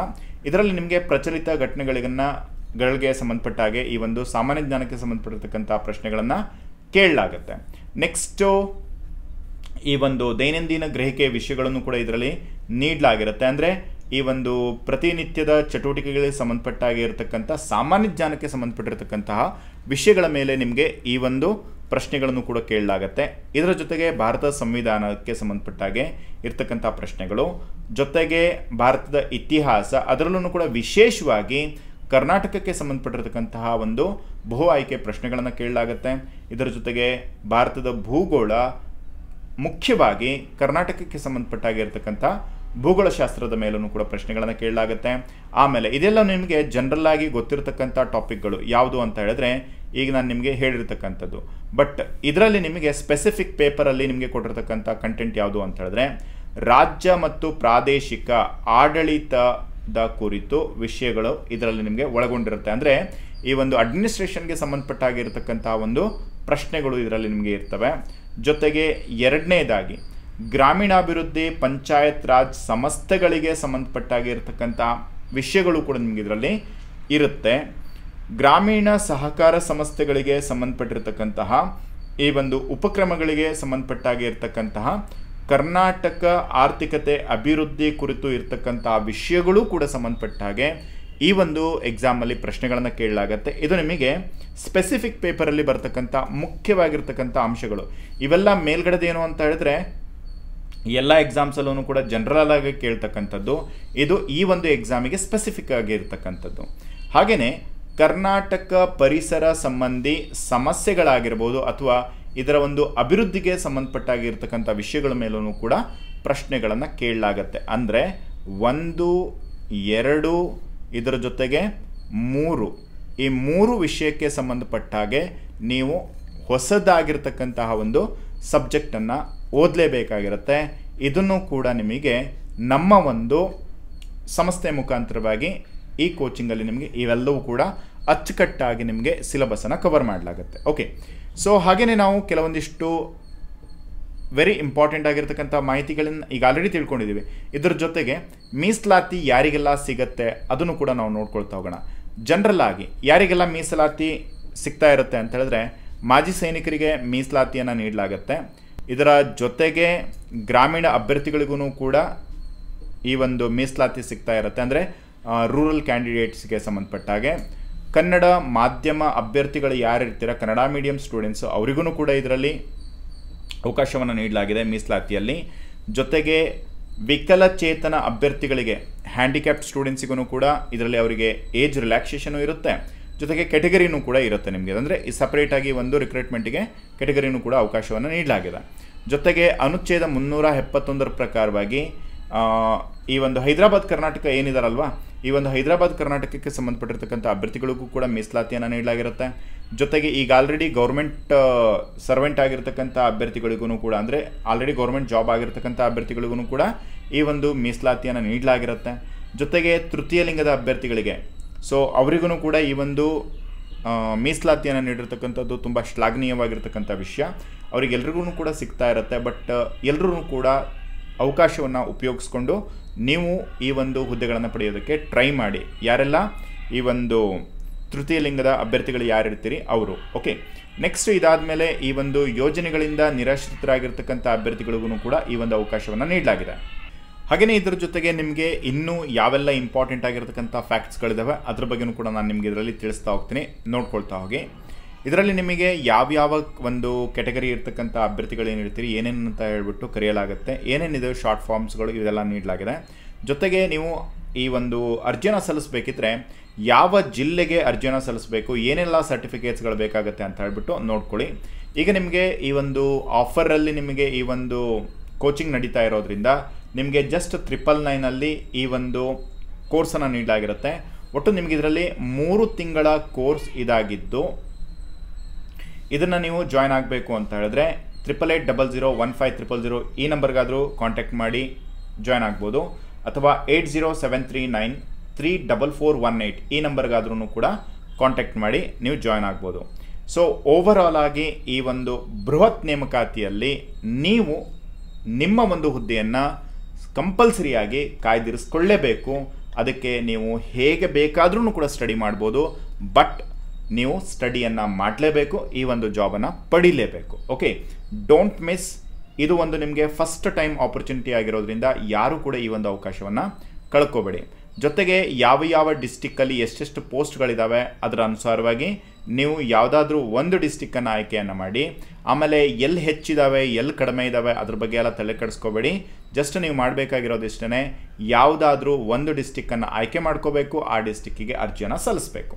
ಇದರಲ್ಲಿ ನಿಮಗೆ ಉಳಿಕೆ ಮೂಲ ವೃಂದದ ಹುದ್ದೆಗಳ ಸಂಖ್ಯೆ ಅಂತ ಹೇಳ್ಬಿಟ್ಟು, ನೋಡಿ, ಇಷ್ಟು ಡಿಸ್ಟಿಕ್ಕನ್ನು ನೀಡಲಾಗಿದೆ. ಕೆಲವೊಂದು ಡಿಸ್ಟಿಕ್ ಇದರಲ್ಲಿ ಇಲ್ಲೋ ಇಲ್ಲದೇ ಇದ್ರೂ ಕೂಡ ನೆಕ್ಸ್ಟ್ ನಿಮಗೆ ಇರ್ತಕ್ಕಂಥ ಆಪ್ಷನಲ್ ಡಿಸ್ಟಿಕ್ಕನ್ನು ನೀವೇನು ಮಾಡಿ ಅಂತ ಹೇಳಿದ್ರೆ ಚೂಸ್ ಮಾಡಿಕೊಂಡು ಈ ಒಂದು ಆಯ್ಕೆ ಪ್ರಕ್ರಿಯೆಯಲ್ಲಿ ನೀವು ಕೂಡ ಭಾಗವಹಿಸ್ಬೋದು. ಈ ಒಂದು ಜಾಬನ್ನು ಪಡಿಬೋದು. ಮೋರ್ ಎವರ್ ನಿಮಗೆ ಕಂಪ್ಲೀಟ್ ಆಗಿರತಕ್ಕಂಥ ಡೀಟೇಲ್ಸು ಈ ಒಂದು ವಿಡಿಯೋದಲ್ಲಿ ಸಿಕ್ಕಿದೆ ಅಂತ ಅಂದ್ಕೊಳ್ತೀನಿ. ನಿಮಗೆ ಏನಾದ್ರೂ ಕೂಡ ಡೌಟ್ ಕೋಚಿಂಗ್ಗೆ ಸಂಬಂಧಪಟ್ಟ ಹಾಗೆ ಇತ್ತು ಅಂತ ಹೇಳಿದ್ರೆ, ನೀವೇನು ಮಾಡಿ ಅಂತ ಹೇಳಿದ್ರೆ, ಈಗ ಆಲ್ರೆಡಿ ನೀಡಿರ್ತಕ್ಕಂಥ ನಂಬರ್ಸ್ಗಳಿಗೆ ಕಾಲ್ ಮಾಡಿ, ಕರೆ ಮಾಡಿಬಿಟ್ಟು ನಿಮ್ಮ ಡೌಟ್ಸನ್ನು ಕ್ಲಿಯರ್ ಮಾಡ್ಕೋಬೋದು. ಹಾಗೆಯೇ ಈ ಒಂದು ನೋಟಿಫಿಕೇಷನ್ ಏನಿರುತ್ತೆ ಸೊ ಅದನ್ನು ನಿಮಗೆ ಕರ್ನಾಟಕ ಅಕಾಡೆಮಿ ಟೆಲಿಗ್ರಾಮ್ ಚಾನಲಲ್ಲಿ ನಾನು ನೀಡಿರ್ತೀನಿ. ಅಲ್ಲಿಂದ ನೀವು ಈ ಒಂದು ನೋಟಿಫಿಕೇಷನ್ನು ಕೂಡ ಪಡಿಬೋದು. ಐ ಹೋಪ್ ಎಲ್ರಿಗೂ ಕೂಡ ಈ ಒಂದು ಆಯ್ಕೆಗೆ ಸಂಬಂಧಪಟ್ಟಿರತಕ್ಕಂಥ ಮಾಹಿತಿ ಸಂಪೂರ್ಣವಾಗಿ ತಿಳಿದಿದೆ ಅಂದ್ಕೊಳ್ತೀನಿ. ಮುಂದಿನ ವಿಡಿಯೋದಲ್ಲಿ ಮತ್ತೊಂದು ಹೊಸ ಅಪ್ಡೇಟ್ನ ಜೊತೆಗೆ ಮತ್ತೆ ನಾನು ನಿಮ್ಮ ಮುಂದೆ ಸಿಗ್ತೀನಿ. ಅಲ್ಲಿವರೆಗೂ ಕೂಡ ಶುಭ ದಿನ have a good day guys